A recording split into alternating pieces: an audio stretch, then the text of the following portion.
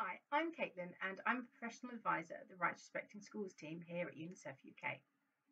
Mental Health Awareness Week occurs every year in May and it's an ideal time for us all to think about our mental health, tackle stigma and discuss how we can create school environments that protect our mental well-being.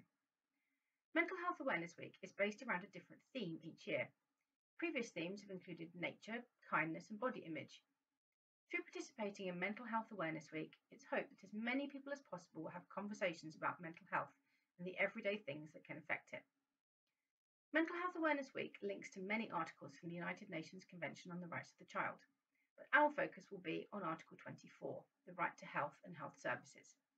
Think about the ways you can get people talking about their mental health as you work through some of the activities that follow.